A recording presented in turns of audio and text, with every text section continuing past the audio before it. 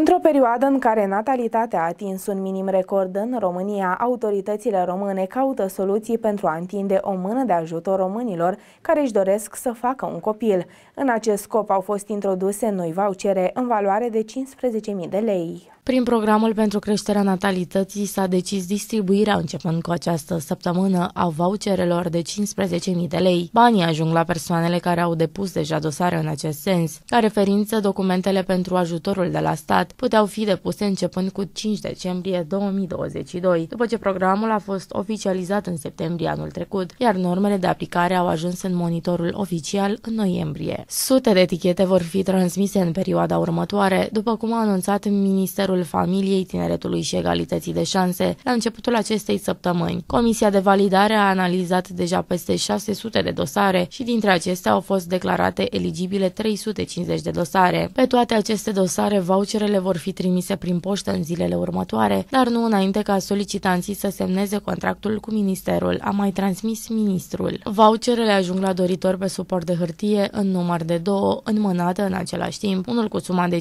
5.000 de lei, aferent tratamentului medicamentos și unul în valoare de 10.000 de lei, utilizabil pentru procedurile medicale specifice. Ambele vouchere au o valabilitate de 12 luni. În situația în care costul tratamentului prescris depășește valoarea voucherului, beneficiarul trebuie să suporte diferența de cost, iar dacă cheltuielile tratamentului sunt mai mici decât valoarea voucherelor, nu se va oferi rest în bani, conform avocatnet.ro relatează playtech.ro.